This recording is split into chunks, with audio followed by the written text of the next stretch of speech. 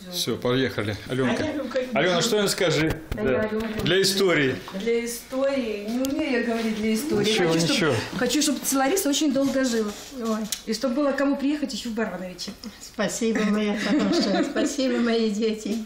Спасибо, Аленушка, спасибо, сыночку, что у меня есть. Это, это меня держит. Ну, конечно. А так уже правильно, не надо хотелось бы жить, а так вот это все меня держит. Как плохо, то я вспоминаю вас. Давайте за вас, за ваше Ну здоровье. давайте. И Плохо не должно быть. Вы молодцы, за Ну, здоровье. когда мне плохо, так я здоровье. вспоминаю вас. Всё правильно. всех Дорогих мне людей. Сашка, убирай. Свое видео. Саша, хватит, хватит меня такой Так, тихо, тихо. Да, убирай свое видео. Самые лучшие кадры пошли. ж красивая.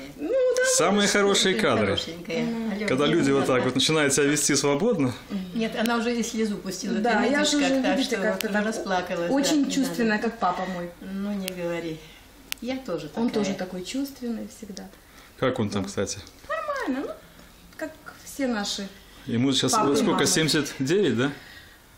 Или 8? 78. Восемь. 79, 79 в январе же будет, вот уже сейчас. Ну, правильно, в январе 12 будет, там, да. Живут.